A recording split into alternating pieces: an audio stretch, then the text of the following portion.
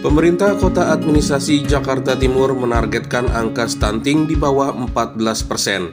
Target itu muncul dalam rapat koordinasi wilayah yang dipimpin Wali Kota Administrasi Jakarta Timur, M. Anwar, di ruang pola kantor Wali Kota Jakarta Timur. Wali Kota mengatakan dari 14,4 persen angka stunting akan ditekan terus sampai di bawah 14 persen yang ditargetkan dengan berbagai program.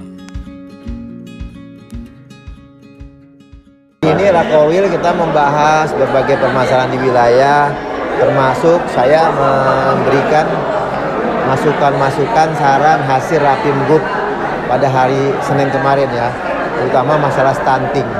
Kemarin Senin kita sudah baru rapat dengan Pak Menteri Kesehatan dan Pak Dipimpin oleh Pak Wajib Gubernur bagaimana mengatasi stunting, cegah stunting.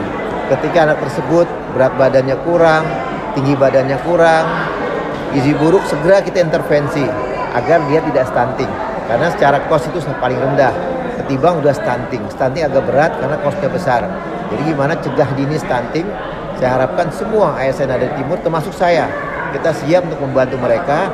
Saya minta di mapping sekarang di data kita akan turun semuanya.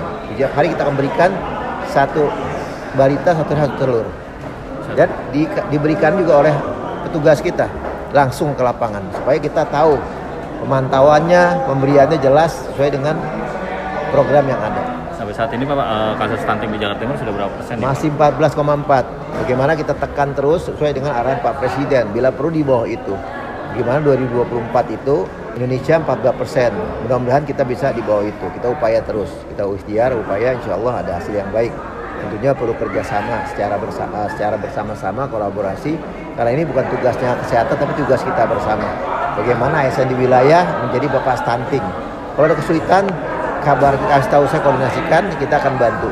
Jadi kita akan bantu bagaimana kita bisa memberikan satu motivasi kepada jajaran termasuk keluarga yang stunting, baik pendampingan dari petugas kesehatan dan lain-lainnya. Tim Liputan Kominfotik Jakarta Timur melaporkan.